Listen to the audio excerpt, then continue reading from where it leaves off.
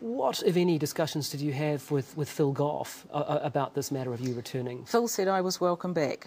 I have to confess, he sounded like he was chewing dead rats as he said it. Do you think Phil Goff is the right person to lead the Labour Party? I have always supported the leader of the Labour Party. Phil hasn't always. Um, I support him as long as he's leader, but I think he's got to ask himself, and the caucus have got to ask him whether he can win the next election. I've never tripped up, I've, I've never, never stuffed up, up, I've done the job competently.